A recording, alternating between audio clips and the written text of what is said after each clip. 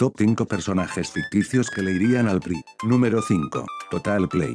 Porque a ambos se les ha caído el sistema de manera catastrófica. Número 4. Walad de Walazir Mit.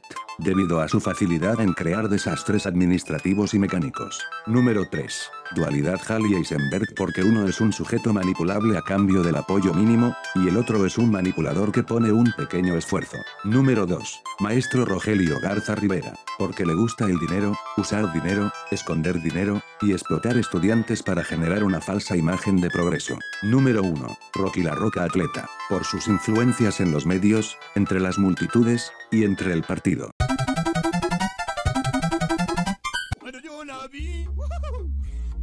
Dije que esa mujer fuera para mí.